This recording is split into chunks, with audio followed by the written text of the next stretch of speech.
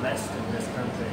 Uh, speaking of the Irish, the Irish interest here, the Irish embassy, that we're such a strong community going back decades. We have a business network that's very strong. We have a community organisation, the St Patrick's Society of Selangor. We have Gaelic Games, unique Irish form of football, and game the stickball hurling. And of course we have the Malaysian Irish Alumni Association, which his as president.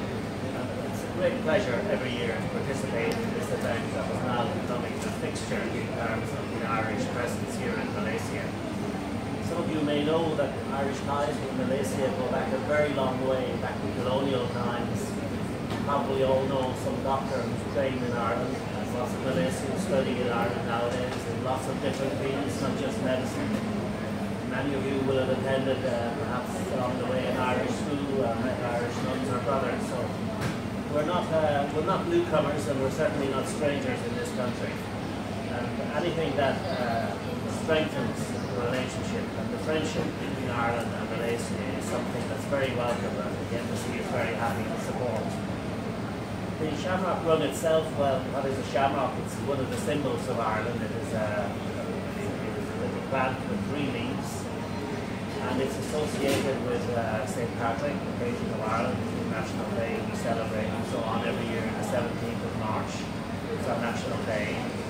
Uh, you see a lot of green because, of course, green is the national colour of Ireland. I know it's a very sacred colour also. It's very important for many Malays. Uh, the leprechaun that you see is a, a little mischievous mythological figure. And all of that adds up, frankly, to a very great, it's a fun occasion, it has to be said. It's a family occasion. And of course, if people want to run seriously, they're very welcome to run seriously. We let them off early. But again, it's pretty unique because the prizes go to the people who dress up. So you can make of this event anything you want. And it's something that is going from strength to strength. This year we have a very nice venue out at the University of Malaya where we'll have this.